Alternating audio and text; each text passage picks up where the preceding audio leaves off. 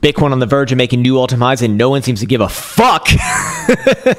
seriously, no one seems to care at all, uh, and probably that's a good thing. So I do want to be following up on this video as far as uh, pivots, important pivots for today's closures that would imply continuation or perhaps reversal as well. There always seems to be some on the other side, but in this case, you know, the higher term timeframes are shaping up uh, to favor well, continuation as we've been looking for, maybe a little bit sooner than what we've been looking for. However, um, as uh, as the halving is still I don't know, about a week away now. Anyways, I should let you know that uh, Elsa wants you to know that she might be a little bit slow. She might be a little bit slow today, but also in general because uh, I need to explain a situation that happened a few days ago. We were uh, we were we, we, we, we were at the mall and uh, we went into the store and as we were leaving the store, there was a glass wall and then the exit door. And Elsa, instead of walking through the exit, walked into the uh, glass somehow, somehow. and like, I've watched this happen, by the way. this was crazy. And then she just like falls over slowly. Anyways, she hit her head, um, I guess, hard enough to where she must have like burst a blood vessel or something. And so we actually took her to the hospital. And I don't know, she's probably dealing with like some sort of a minor concussion. All right, sweet. That's enough of that. Let's let's get into some actual price action analysis right in over here. Starting off with the daily statistics for Friday. Friday is actually been the most likely to close positively out of any day um, since basically the start of uh, 2023. And actually, this has been pretty consistent now for uh, for many years. But out of all Fridays from the beginning of 2023, where this bull market really did start, 60.5% of them almost have closed positively from open to close with an average return of just over 2% which is actually not the biggest um, uh, uh, return for a positive day. That would actually be Monday.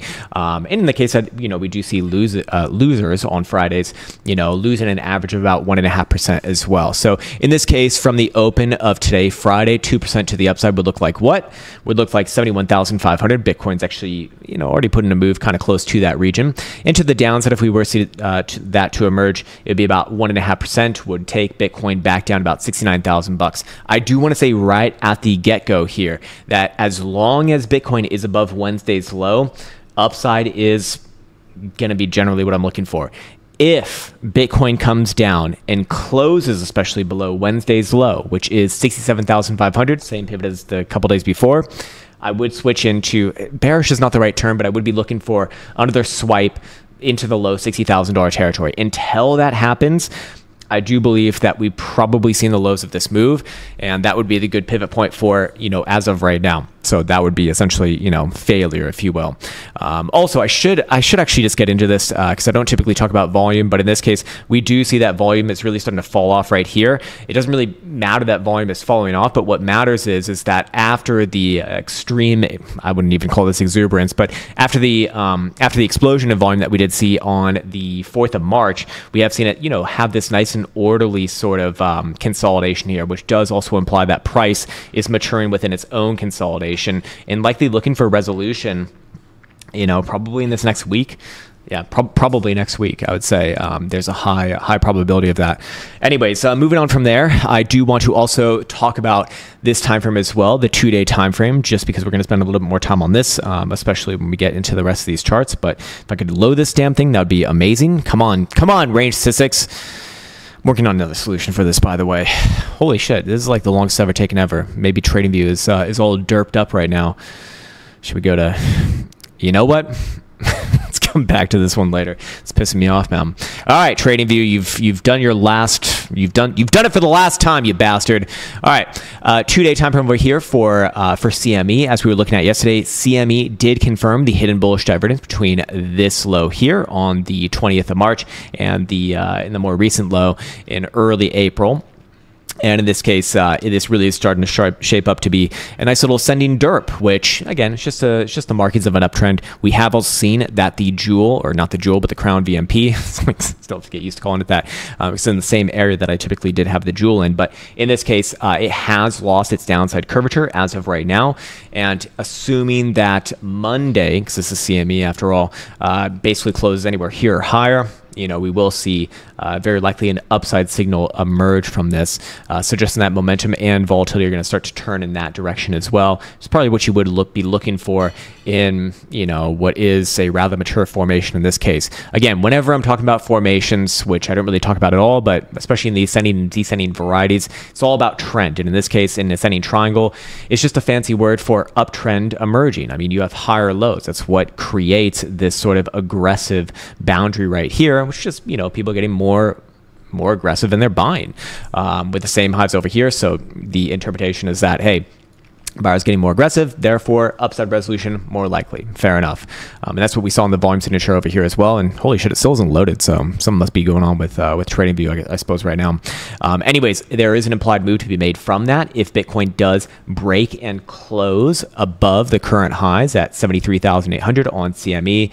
An implied target would be somewhere around eighty five to eighty six thousand bucks. Fair enough. I think a lot of people are probably looking at that as well. So as you always know usually those sort of things either get front ran or completely overshot. So, so what does that mean? Maybe low 80s or probably into the 90s. Um, anyways, moving on from there, I do want to. Yeah, uh, I do want to get into not the monthly just yet or the bi monthly just yet, but but starting off with daily stochastic momentum, we were looking at CME yesterday. We were looking at the, I think it was $69,000 pivot as the pivot, and that has now moved up to 70,000 bucks, meaning that as long as Bitcoin is above 70,000 bucks on today's closure, momentum will remain to the upside. Um, if Bitcoin, of course, comes back down below 70,000 bucks, I would not say that that's a death sentence just yet. It's still, for me, the Wednesday, the 10th of April's low. That's where things start to, you know, really imply that Bitcoin's going to come back down to like 62, maybe even 60,000 bucks even. Um, but for right now, yeah, you know, still favoring the upside, of course, right here. Two day time frame did not close the upside, by the way, last night. The new pivot is 71,900. Again, not going to be relevant for tonight, but on Monday night's closure, um, which Bitcoin's about 400 bucks as of uh, below as of right now. Um, on top of that, I did also want to talk about the bi monthly right here, just because um, the bi monthly is going to be closing at the end of this month, and there are uh, there is one major thing of interest here. One, well, actually two, I guess. One is that the stochastic momentum pivot, probably going to continue to the upside. Uh, I know it's like a really, really crazy call here, but uh, just needs to close above 31,350. Okay, not bad. Um, but probably more importantly is what I have marked off with these green uh, vertical bars, which is where we've seen the stochastic oscillator essentially cross back above this moving average on it. And in the past, that has been indicative of general upside emerging for you know for quite some time. Um, so uh, so in this case, you know, we're seeing our first sort of uh, close. Actually, our first closure will be this closure. In fact, yeah, it will be this closure. Um, so assuming that Bitcoin, you know, doesn't come back down below like thirty, what is what was it, thirty one thousand bucks. It's probably going to remain to the upside. And again, long term, we likely uh, we likely see some some more long term upside emerge. Again, just makes me more convicted in the overall analysis on this channel for the past couple months now that, or not not couple months, but like the past uh, couple weeks now that Bitcoin's been consolidating at this region at seventy thousand bucks. That right now is monkey boy time. It's monkey boy time. Just sit on your damn monkey hands and you know, yeah, price might, you know, could theoretically come down, I don't know, 10, 15% from where it currently is. Still be an opportunity you know, ta- uh, do with that as you will. It's just my opinion at the end of the day. Um, but, uh, but again, long term, more likely than not. More, long term upside, still more likely than not. Um, so, uh, so fair enough right there. Um, also, I should say that uh, the bi-monthly stochastic momentum cross to the downside is actually accurately called all of the all of the previous tops in Bitcoin's history. So unless if Bitcoin were to close this month below 31,350, I would say uh, top is still not in, still more like the upside. Although, as we went over in yesterday's video, I actually am starting to think that this current cycle does not likely go that far beyond, if at all, uh, 2024. Um, but we do see, you know, volatility starting to expand here for the first time, basically since the lows.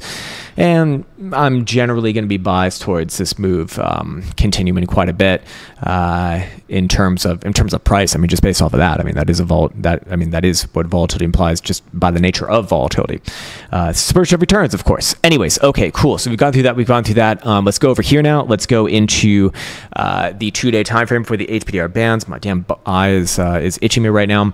Um, and again, not closing today, but a good pivot for the upside to be aware of. That if Bitcoin were to be above, we're very likely going to look for a move at least into the deep 70s, probably even $80,000 territory. Sounds kind of crazy to say right now.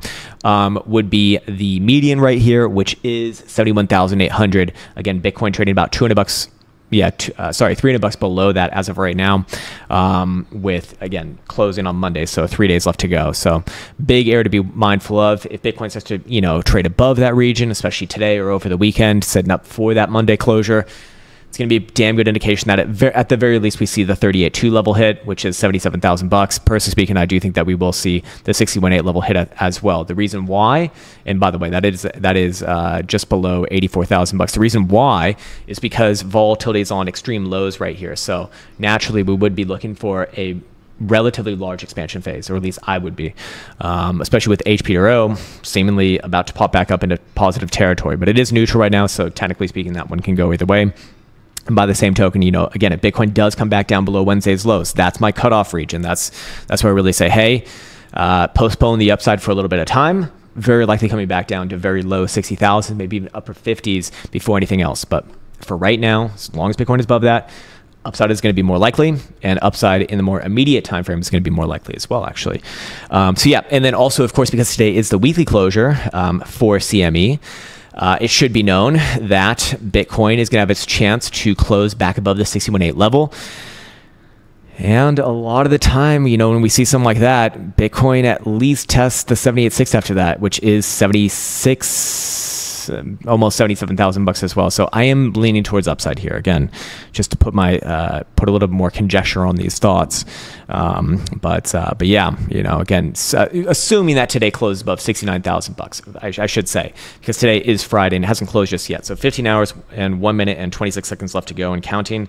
69,000 bucks, assuming that Bitcoin's above there on CME specifically. Yeah, we're probably going to see next week or the week after that try closer to 77 ish, maybe even low 80s and then take it one step as we go. Again, probably keeping in mind the long-term setups that we've been looking at for Bitcoin, um, which I won't talk about today, but you know, still kind of suggesting uh, just general upside into the end of uh, the end of May, uh, most likely. All right, cool.